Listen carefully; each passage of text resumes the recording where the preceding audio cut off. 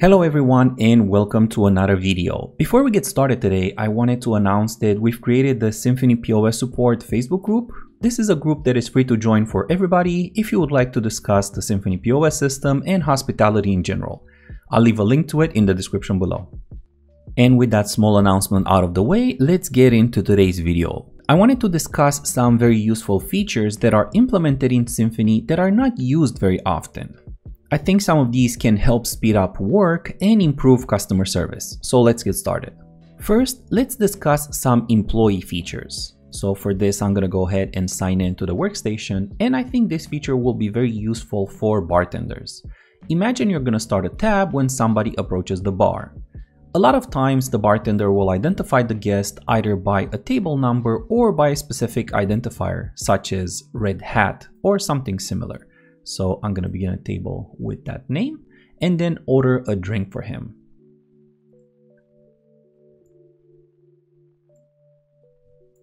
And go ahead and send it. Now, using a guest check ID like that might be very useful for the bartender because they can just read it here and identify all the guests at the bar. The bad part is that this name actually prints on the guest check. So when you are presenting it to the guest at the end of their stay, they might be offended by it. So what I would recommend is as they're sitting there and enjoying their beer, I would strike a small conversation with them and ask them what their name is. And after you learn that, you can just enter the check, and then go to your functions and click guest check ID. So let's say that their name was Joe, you're just gonna enter Joe and now that name, Red Hat, was replaced by Joe. And all you have to do is click send. This will help the bartenders remember the guest names and it will also present a personalized check, resulting in better service and higher tips. This next feature will mostly be encountered by servers. So I'm gonna go ahead and begin a table here. It's gonna be table number one. And imagine you have a larger party arriving, but the first guest arrived by themselves. So you start a table for one guest and they say just, I'm gonna just order a drink until I wait for everybody else. So they come and they order a beer and then you send the check. As the rest of the party arrives, it's a good idea to change the number of guests. So now we have just one here. We'll have to adjust it, go to our functions area and click change number of guests and then transform this, for example, into a six stop. The reason why that is important is because it will make reporting a lot more accurate. So that way we know exactly the number of covers we had for the night and the average spend for each guest. This next feature is used quite often both by bartenders and servers alike, but I wanted to add a couple of things to it. So I'm to begin a transaction here for two guests and I'm to add two appetizers, one for seat one and one for seat two. And then for drinks, I might add for them a bottle of wine. So I'm to go to my wines here, select the bottle and then click OK and then send it. Now, a lot of times you see where guests require a split check, and that's perfectly fine. We would go to our functions here, we would go to split check and split up the nachos, for example, and then save and then exit. We're gonna enter one guest remaining on this check and go ahead and send it. And now we have two separate checks. One has one of the appetizers and the wine on it, and one has the other appetizer. But what if we would like to merge these checks? We can open up one of them, go back to the functions area, click the merge checks key, select the check that we're going to merge it with, click OK, and now the check is back together. So like I said, splitting checks, I see it very often, but sometimes if the server makes a mistake and splits it incorrectly, the merge check is not used that often, leaving the guest to figure out on their own what happened. Another option hidden within the split check functionality is the share check item. As we can see, we have the two appetizers here and a bottle of wine. If the guest would like to share all these and just split it in two equal halves, we can select all of the items, click share check, and then we have these two checks side by side. We're gonna select to share between both of them and then click yes. So now one person has half of everything and the other person has half of everything. And as you can see, the checks are $66.34 each. But what happens if they do not want it as an equal split? Since the two appetizers have different prices, they might want each person to pay for their own appetizer. So the tuna is $15 and the nachos are only 12. So I'm gonna split the tuna here and then they share the bottle of wine. So I'm only gonna share this one item. So I'm gonna select it, click share, again tell the system to share the bottle of wine between the two checks and then just click yes. So now one person has just their food item and half a bottle of wine and the other person has their food item and the bottle of wine. For the next feature, I want to talk about seat positions. If your restaurant is a classic sit-down style, you could consider using seat positions. So that means every time a guest orders an item, you have to enter the seat position. So the ahi tuna is going to be for seat 1, the chicken nachos is going to be for seat 2, and the quesadilla is going to be for seat 3. Now, using seat positions like that helps with expediting the food. When the food arrives at the table, if you have the ticket with you, you don't have to auction the food and ask who had the nachos, who had the tuna. You know exactly where to place it. That is already a great advantage and a great reason to use seat positions because it's going to create a much better customer experience. But besides that, there are quite a few functions that also take advantage of seat positions that can help us out when we have to give the guest their check. So let's go to the functions area and let's take a look at those. So the first thing I want to note is the edit seat button. For example, if I added the quesadilla on a different seat by mistake, I can just click edit seat and then change it. And then I can move this around just I would do with a split check. The next function is to split the check by seat. So if you have a big party and you have everybody's drinks and food on the correct seat, you can just click split check by seat and the system will do the split for you if they want separate checks. You don't have to individually do it. There's also a filter seat button. What this will do is if you want to take a look at all the items that one particular seat had, for example, I want to see only items that were placed on seat 1, I can see them here in the guest check detail area.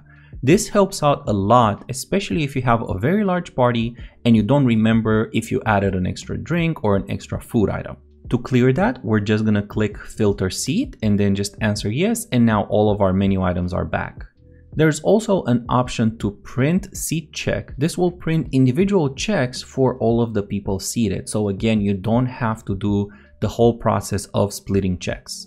So using seat positions, if the restaurant allows it, again, I want to make that clear because some of the restaurants are so fast paced that using seat positions might hinder service. But if your restaurant does allow it, then I would highly suggest using it as it will create a much better customer experience and once the servers get used to them, it will be very helpful for them at the end when they have to split checks and offer guest checks.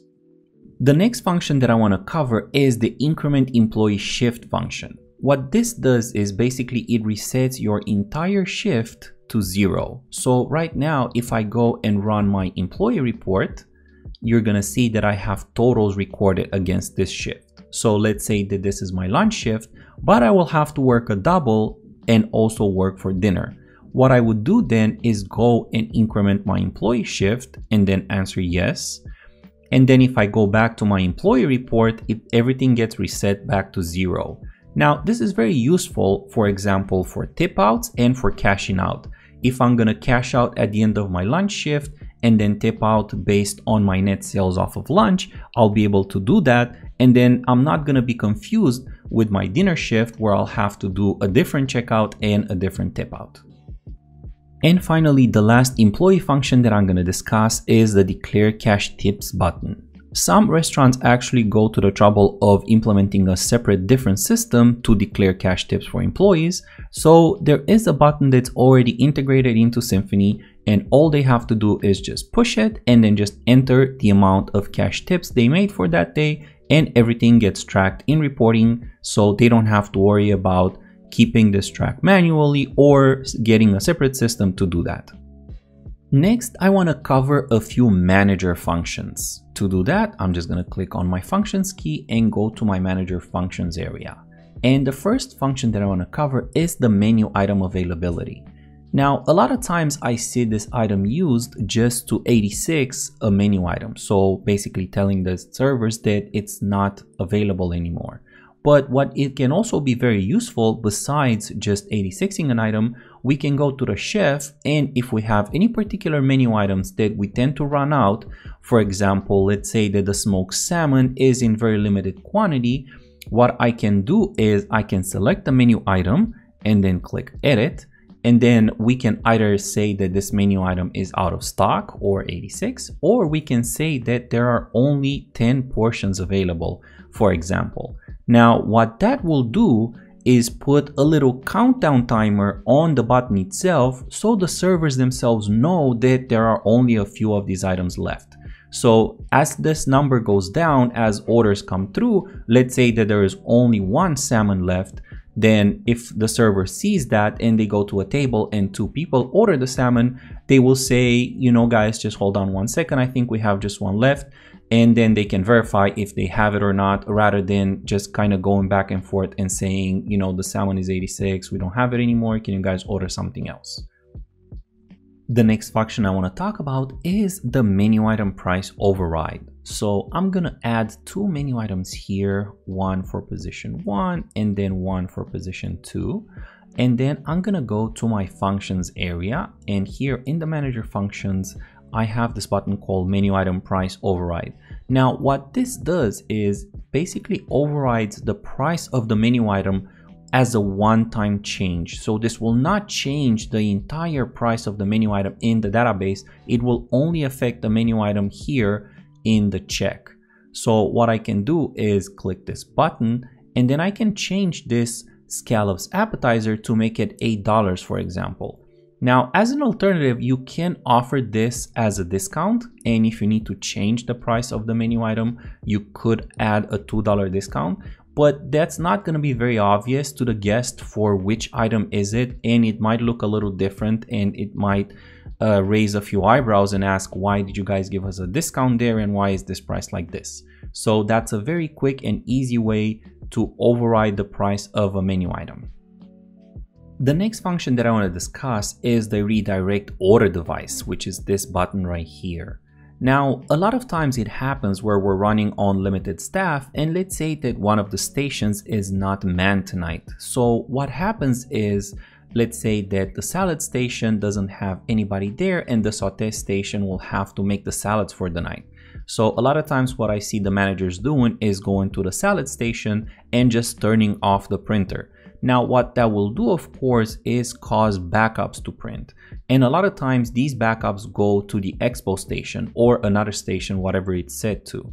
The problem with that is that you will always see an error on the screen every time a salad is supposed to print, which will annoy the servers and slow down service.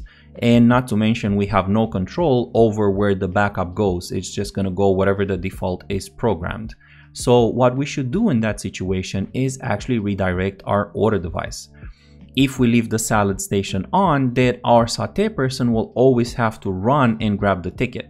So what I'm gonna do for them is I'm gonna select my salad printer. Right now I see my device name here says salad and it outputs in the salad. So I'm gonna click edit and then I'm gonna override it to go to the saute station.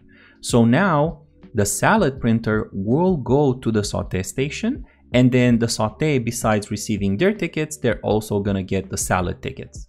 That's also not gonna cause errors on the front of house screens keep saying that uh, the salad is backing up and going to backup when you are done with this there's a little trick that you have to pay attention to when the salad station reopens. When you go back to edit make sure you select no override. Do not select no output because if you select no output, then the printer will not print at all. So again, when you go back to normal, just go to no override and then click OK and everything will look exactly how it was before.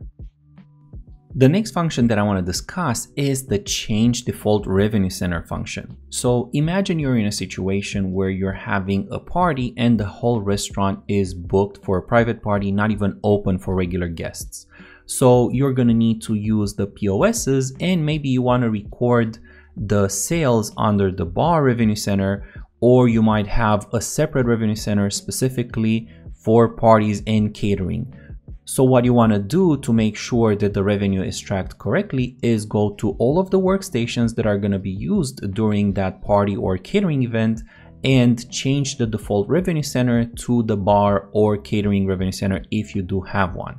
And then when you're done with the party, you can just change it back to restaurant and that will keep the people in accounting happy and it's gonna make sure everything gets tracked correctly.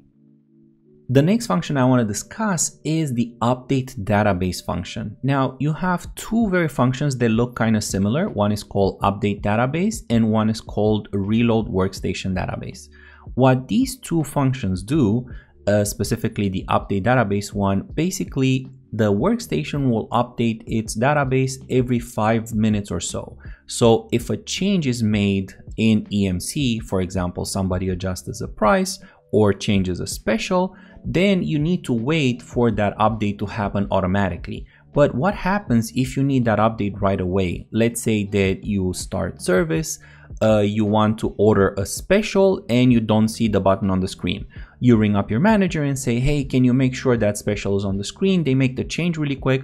And instead of waiting for the five minutes for the change to take effect, all you have to do is click this update database button and everything will be refreshed. And the last function I want to talk about is launch PMC. PMC is a diagnostic tool that will show you different pieces of information about the user and this particular workstation. So if you ever call the help desk and you're asked what version of Simphony you're running, you can run PMC and you can see the version right here I'm running is 2.10. You can also see the workstation name and number here so if you have a hardware issue, you know how to identify it. You also see if the check and posting server is online and if database sync is online. If any of these say offline, you might have a communication issue or loss of internet. A communication issue might also be caused by the workstations not talking to each other properly if the IP address defined here is not the same as the IP programmed in EMC.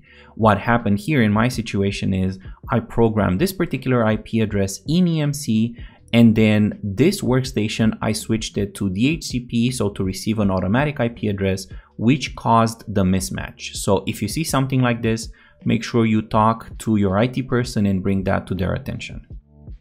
And that's it for this video. If you enjoyed today's content, make sure to leave this video a big like and comment below and let me know which one of these functions you are currently using and which one you are planning to implement in the future. Don't forget to join our free Facebook group to talk to your fellow colleagues and I'll see everyone in the next video.